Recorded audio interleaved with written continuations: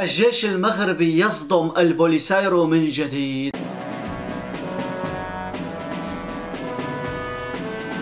مرحبا معكم ابو البيس باسل شوكي إن شاء الله تكونوا بخير يا جماعة بصحة وبسلامه بهذا الفيديو رح نحكي عن موضوع هام جدا يا جماعة.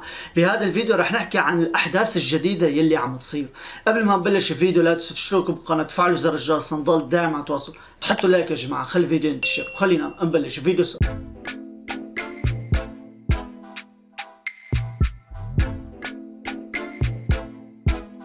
قبل ما نبتدي بالجيش المغربي والبوليساريو شوفوا هاي الصورة يا جماعة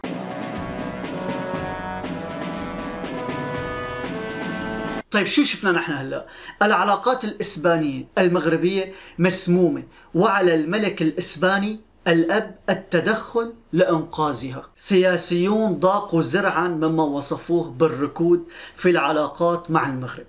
والتي وصفوها بالضرورية والأساسية لبلدهم مطالبين بتدخل عاجل للملك الإسباني خوان كارلوس والتوسط لدى جلالة الملك محمد السادس من أجل تجاوز هذه الأزمة الصامتة. فبعد أيام قليلة من إعلان حكومة بيدور عن عزمها القيام بجولة استراتيجية إلى دول أفريقيا استثنت منها المغرب. خرج المحلل السياسي والمحامي الإسباني. في مقال تحليلي يعبر فيه عن استيائه مما تقوم فيه الحكومة الإسبانية. سقل وزن المغرب في ميزان العلاقات الدولية لإسبانيا مع نظرائها بدأ جليا من خلال ما خطه المحلل السياسي الإسباني كارلوس في مقاله الذي اطلعت عليه أشكان حيث وصفت العلاقة بين المغرب وإسبانيا بالضرورية والأساسية لإسبانيا قبل كل شيء وأن هذين البلدين محكوم عليهما بفهم بعضهما البعض رغم كل ما يقع. وتمهيدا منه لدور الملك الإسباني في ضرورة التوسط لدى جلالة الملك محمد السادس من أجل حلحلة الوضع أكد المحلل السياسي الإسباني نفسه. على أنه من المعروف أن بيدرو لن يستقبله الملك المغربي أبدا حتى من وجهة نظر رسمي. لافتا الانتباه إلى أن رجال الأعمال المواطنون الإسبان يفتقرون إلى التمثيل في المغرب ويتصرفون بطريقتهم الخاصة وبقدر ما يستطيعون. مشددا على أن سفارة بلاده غير مجدية ويجب القيام بشيء ما وأن هذا الشيء في يد الملك خوان كارلوس فقط. من المعروف أن بيدرو لن يستقبله جلالة الملك محمد السادس أبدا حتى من وجهة نظر رسمية.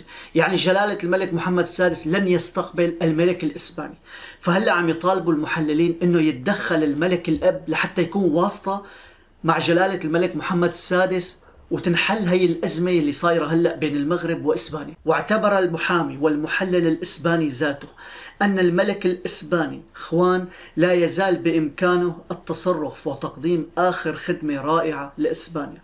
باعتبارها اللمسة الأخيرة لعهده واصفا العلاقات مع المغرب بأنها راكدة ومسمومة وستستمر على هذا النحو ما لم تتحرك الرافعة الموجودة في أبو ظبي وتحقق التقارب مرة أخرى بين إسبانيا والمغرب. لم يقف المحلل السياسي الإسباني كارلوس عن التأكيد على ضرورة عودة العلاقات لسابق عهدها مع المغرب. موردا قوله أن العلاقة بين المغرب وإسبانيا ضرورية وهي الأساسية لإسبانيا قبل كل شيء.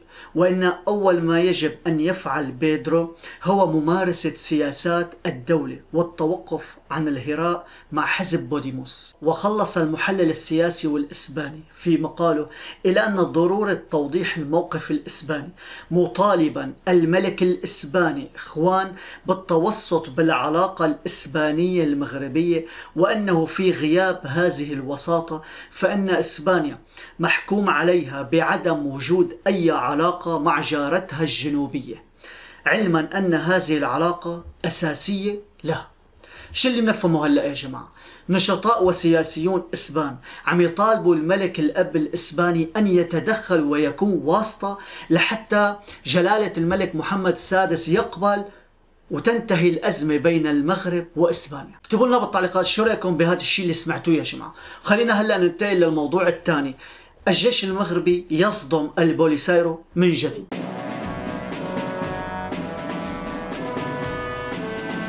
شو اللي صار يا جماعة؟ قيادي عسكري آخر بجبهة البوليساريو يلقى حتفه جراء القصف الجوي للقوات المسلحة الملكية أكدت مصادر من داخل مخيمات تندوف أن الضربة العسكرية المركزة التي نفذها سلاح الجو المغربي ضد قوة تابعة لإرهابي البوليساريو لم تستقر عند مقتل البندير وإنما أطاحت أيضا بأبرز القادة الميدانيين للجبهة وقالت ذات المصادر أن الأمر يتعلق بالمسمى الناجم ولد الداي والذي يعد من كبار عسكري البوليساريو والذي كان بدوره متواجدا مع القوى التي حاولت تنفيذ هجوم كر وفر على أفراد القوات المسلحة الملكية انطلاقا من المنطقة العازلة شرق الجدار الدفاعي المغربي. وكانت الطائرة المقاتلة F-16 تابعة للقوات الجوية الملكية.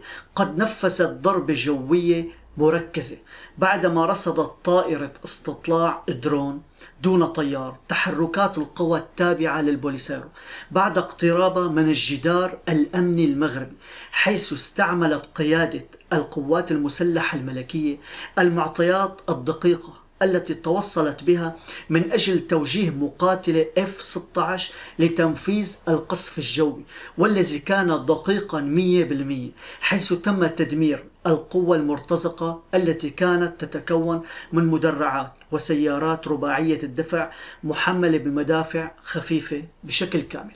شو اللي بنفهمه هلا؟ قيادي آخر من البوليسارو تم قتله من ضمن القصف المغربي يلي صار. هيك وصلنا لآخر الفيديو. إن شاء الله يكون عجبكم. لا تنسوا تشتركوا بالقناة تفعلوا زر الجرس نضل دائما على تواصل. تحطوا لايك يا جماعة خلي الفيديو ينتشر. إذا بدنا نسلط الضوء على موضوعها يلي هن النشطاء السياسيين الإسبان يلي عم يطالبوا من الملك الإسباني الأب أن يتدخل ويكون واسطة من أجل جلالة الملك محمد السادس يقبل وتنحل الأزمة بين المغرب وإسبانيا وذلك لضرورة إسبانيا بالعلاقات مع المغرب. اكتبوا لنا بالتعليقات شو رأيكم بهذا الشيء وهيك وصلنا لآخر الفيديو. كل الحب والتقدير سلام. نشيدنا على الدوام ما قاله المولى الإمام. أبناءنا إلى الأمام فكلنا فدى الوطن. يحيى الملك يحيى الوطن يحيى الملك يحيى الوطن.